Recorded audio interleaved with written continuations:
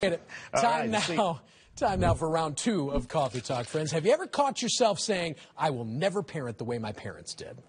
Well, chances... I've heard my kids say that. chances are your kids are saying the same thing about you.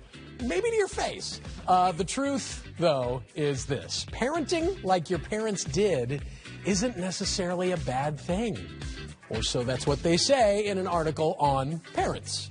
The article claims that oftentimes each generation of parents wants to improve upon the last, sometimes, though, taking it a bit too far. For example, Gen X parents were typically latchkey kids who feel like they received little supervision or support. So if you're a Gen Xer who felt underparented, you might overcompensate and indulge your child's emotions a little too much, which can cause its own set of problems. Now, because I know everybody's wondering what the article says about their specific generation of parenting, let's begin, shall we? Generation X were raised largely by the boomers who kind of use the helicopter parenting style. Millennials tend to be more open minded than any of the generations before them. Therefore, they find value in positive parenting over authoritarian discipline.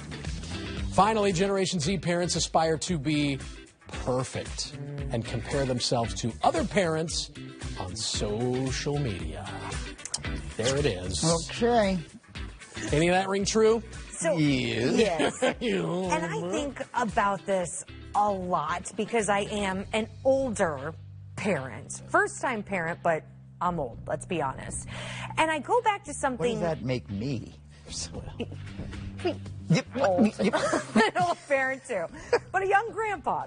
Anyway, anyway, I go back to things that you have said a lot about your parenting journey Oh, and geez. how you remember, you don't remember your dad or mom getting down on the floor and like crawling with you. I don't. And Ever. and you turned out really, really well.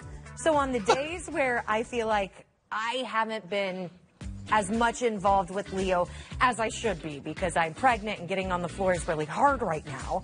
I think, well, Matt turned out great, and there were days his Wow, parents if that's the Well, part you're going to say. Well, but uh, So Leo's gonna be okay. if I can pass along any wisdom, uh, it would be, and this is a big one for me, that there comes a time when you when you realize that your parents were flawed in some way, and then there comes a time when you realize everyone is flawed. Right? We're all going to make mistakes. We're all going to do things that that we could have been better at. Our parents, us, our kids. And and so you find a way around that, and you stop making excuses about it. But uh, I think that that that when you come to that realization, it's a it's a big moment, and you go, okay, I get it. We're not perfect, right? And Mom and dad weren't superheroes. right, either. but they were doing the best that they could under their circumstances, and I tried to do the best I could under my circumstances. Yeah. I think that sums it up nicely. Okay. We're all hosed. That's the Right. bottom line. Nobody's got it figured out. You said hosed, right? I did. Okay. We. Be clear. That brings us to our our Facebook question. Are you well? No. No, no. Uh, what phrases do you use that your parents used on you? oh. Oh. Head on over to our Facebook page. Don't worry about it. you knew where I, my head was. Yeah. Don't worry about it. There's All right. so many Frank Hedegarisms Yeah. that I use that I can't say. I would buy that book. I'd buy that little like quote a day. it's Pretty good.